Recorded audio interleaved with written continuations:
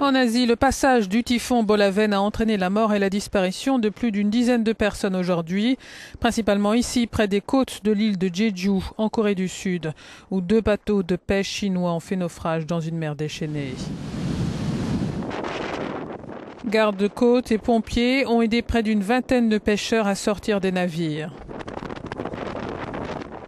Le typhon Bolaven a emporté arbres et toits sur l'île de Jeju, très prisée par les touristes.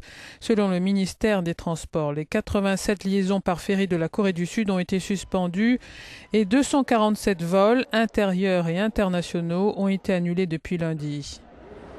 Bolaven est l'un des plus puissants typhons observés depuis des décennies en Asie. L'agence météorologique sud-coréenne a lancé dans la matinée une alerte concernant Séoul où toutes les écoles ont reçu l'ordre de fermer. Bolaven est remonté le long de la côte occidentale de la Corée du Sud avant d'atteindre la Corée du Nord. Un deuxième typhon devrait toucher la péninsule coréenne dans la semaine.